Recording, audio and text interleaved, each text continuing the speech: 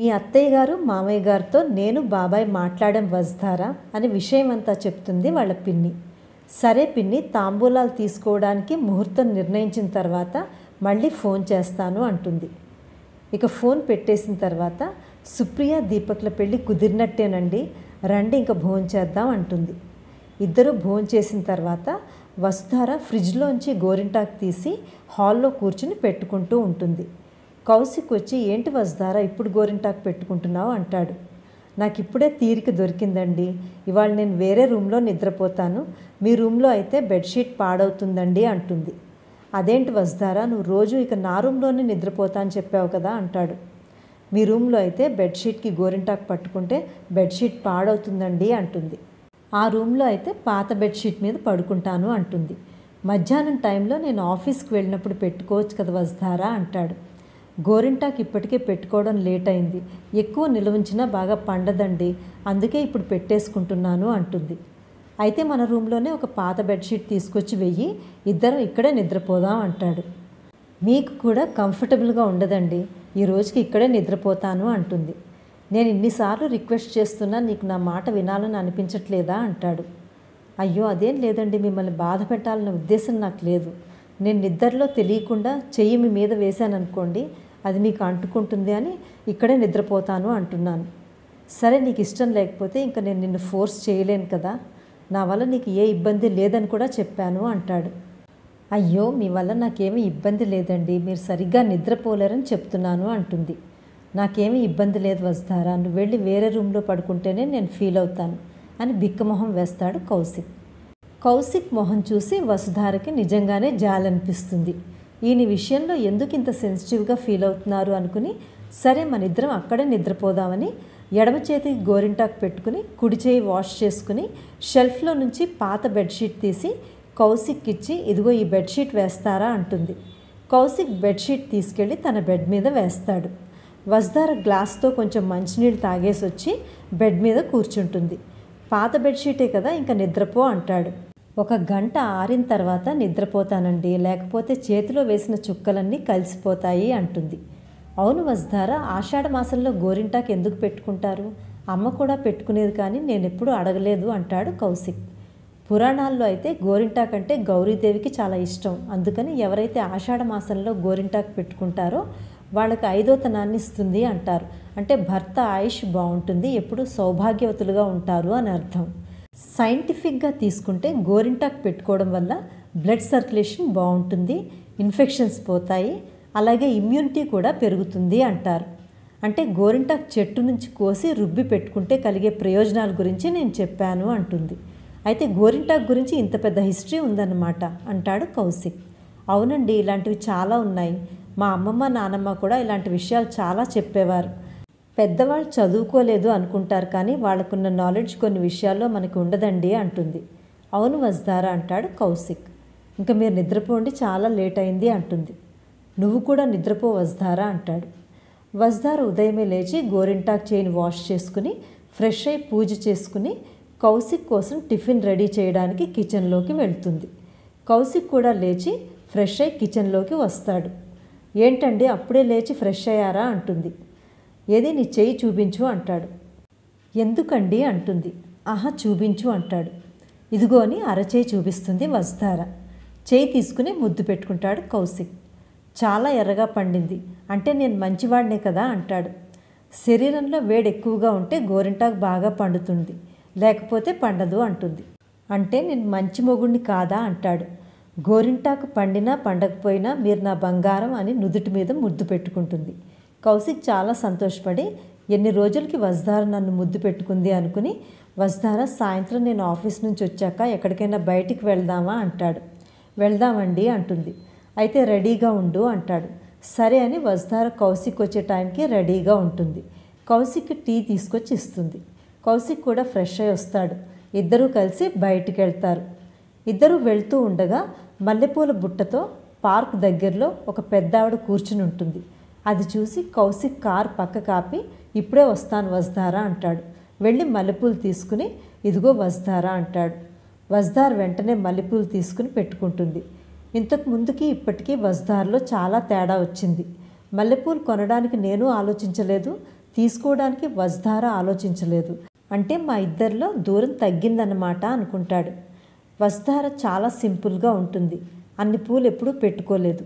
అందులోనూ మల్లెపూలు అసలు పెట్టుకోలేదు.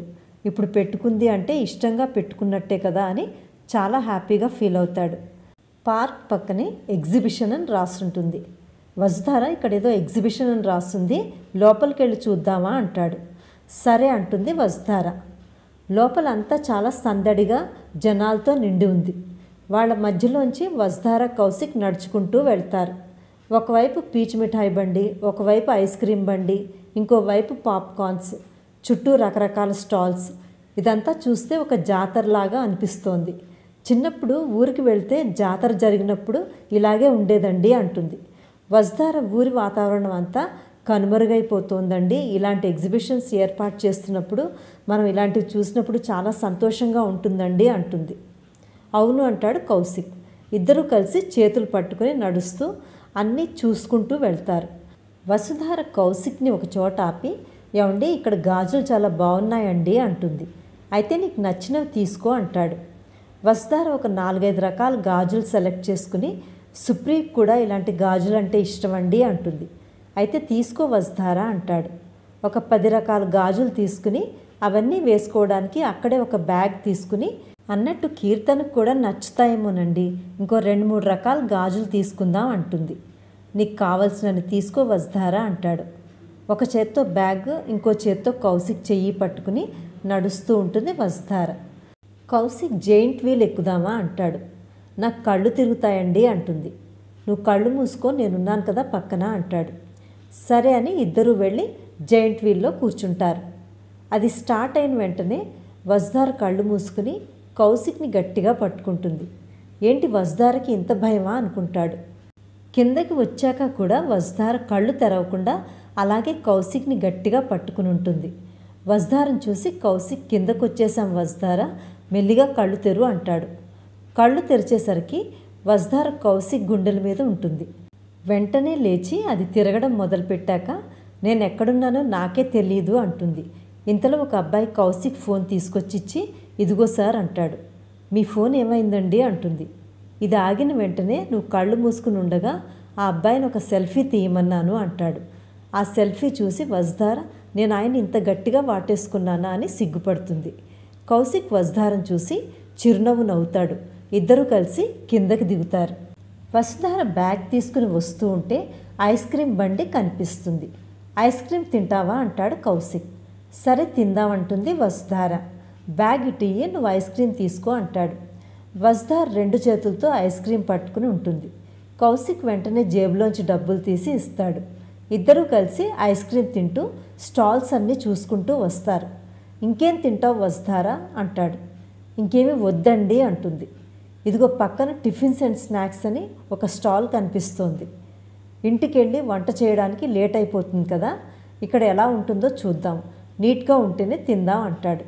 లోపలికి వెళ్ళి చూస్తే చాలా నీట్గా ఉంటుంది. గ్లౌజ్ వేసుకుని హెడ్ క్యాప్స్ పెట్టుకుని చేస్తున్నారు. చూడ్డానికి హైజీనిక్గా ఉంది. తిందామా అంటాడు. సరే మీ ఇష్టం అంటుంది. ఇద్దరు లోపలికి వెళ్ళి ఒక టేబుల్ దగ్గర కూర్చుంటారు. చూడ్డానికి చాలా నీట్గా ఉంది. కౌశిక్ బోర్డు మీద ఉన్న మెనూ చూసి టిఫిన్ ఆర్డర్ చేస్తాడు.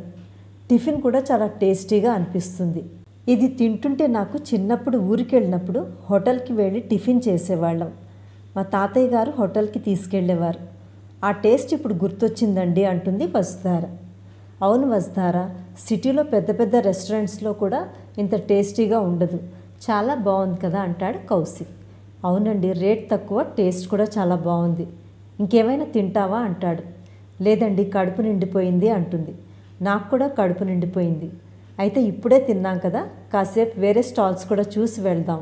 వాకింగ్ చేసినట్టు కూడా ఉంటుంది అంటాడు. ఇక అక్కడ సర్వ్ చేసిన అతను బిల్ తీసుకొచ్చి ఇస్తాడు. బిల్ అమౌంట్ చాలా తక్కువ బాబు. ఇన్ని ఐటమ్స్ ఆర్డర్ చేసాం బిల్ ఇంతేనా? పొరపాటున ఏదైనా అమౌంట్ వేయడం మర్చిపోయారా అని చెప్పి అంటాడు కౌశిక్. అతను బిల్ ఒకసారి చూసి లేదంతా కరెక్ట్గానే ఉందండి అంటాడు. ఇదిగో అని బిల్ అమౌంట్ ఫోన్పే చేసి ఈ ఐటమ్స్ అన్నీ ఎవరు చేశారో చాలా బాగున్నాయి అంటాడు. అతను వెంటనే ఇవన్నీ మా అమ్మ మా చెల్లి మా అన్నయ్య చేస్తారు. కౌంటర్లో ఉన్నది మా నాన్నగారు. నేను మా తమ్ముడు అందరికీ సర్వ్ చేస్తాము అంటాడు. మొత్తం అంతా మీ ఫ్యామిలీయే అన్నమాట అంటాడు కౌశిక్. అవునండి అంటాడు. ఫ్యామిలీ అంతా కష్టపడి చేసుకుంటున్నారు చాలా బాగుంది. ఇదిగో నీ టిప్ అంటాడు కౌశిక్. చేంజ్ లేదు సార్ అందరూ ఫోన్పే చేస్తున్నారు. అందుకని మా దగ్గర చేంజ్ ఉండట్లేదు అంటాడు. నాకు చేంజ్ అవసరం లేదు ఈ ఐదు వందల రూపాయలు నువ్వే ఉంచుకో అంటాడు కౌశిక్. అందరూ ఇరవై రూపాయలు యాభై రూపాయలు టిప్ ఇస్తారు సార్. పర్వాలేదు నేను హ్యాపీగా ఇస్తున్నాను తీసుకో అంటాడు. ఆ అబ్బాయి తీసుకుని థ్యాంక్ యూ సార్ అంటాడు. మీరు క్యాటరింగ్ కూడా చేస్తారా అని అడుగుతుంది వసుధార. చేస్తాం మేడం అంటాడు. మీరుండేది ఎక్కడా అని అడుగుతుంది. ఊర్లో టిఫిన్ సెంటర్ ఉండేది. కానీ మా నాన్నగారి ఫ్రెండ్స్ సిటీలో అయితే కొంచెం ఎక్కువ డబ్బులు వస్తాయి అని చెప్పేసరికి ఒక ఆరు నెలల క్రితం ఇక్కడికి వచ్చాము అంటాడు. నీ పేరు ఫోన్ నెంబరు ఇవ్వు. ఏదైనా అవసరం అయితే ఫోన్ చేస్తామంటుంది వసుధార. అతని పేరు ఫోన్ నెంబరు తీసుకుని కౌశిక్ వసుధార అక్కడి నుంచి బయలుదేరతారు. అలా కొంతసేపు స్టాల్స్ అన్నీ చూసి అక్కడి నుంచి బయటకు వచ్చి కారులో కూర్చునేసరికి బయట మల్లెపూలు అమ్మే ఆవిడ కనిపిస్తుంది. ఏమండి ఇందాక మీరు మల్లెపూలు కొన్నారు కదా ఆవిడ ఇంకా ఇక్కడే కూర్చుని ఉంది అంటుంది. అవును వస్తారా ఇంత రాత్రి అవుతోంది ఇంకా కూర్చునే ఉంది అంటాడు. ఒకసారి ఆవిడ దగ్గరికి వెళ్దామండి అని ఇద్దరూ కలిసి అక్కడికి వెళ్తారు. ఏంటమ్మా బాగా రాత్రి అవుతోంది ఇంటికి వెళ్ళకుండా ఇక్కడే కూర్చుని ఉన్నావంటాడు కౌశిక్. ఇంకా చాలా పువ్వులున్నాయి బాబు రేపటికి వాడిపోతాయి. అందుకే ఇంకెవరైనా కొనుక్కుంటారేమో అని ఇక్కడే కూర్చున్నాను అంటుంది. ఆవిడ్ని చూసేసరికి వజ్దార్కి కౌశిక్కి చాలా జాలేస్తుంది. ఏమండి పువ్వులన్నీ మనమే తీసుకుందాం అంటుంది వజ్ధార మొత్తం పువ్వులు ఎంతమ్మా అని అడుగుతాడు.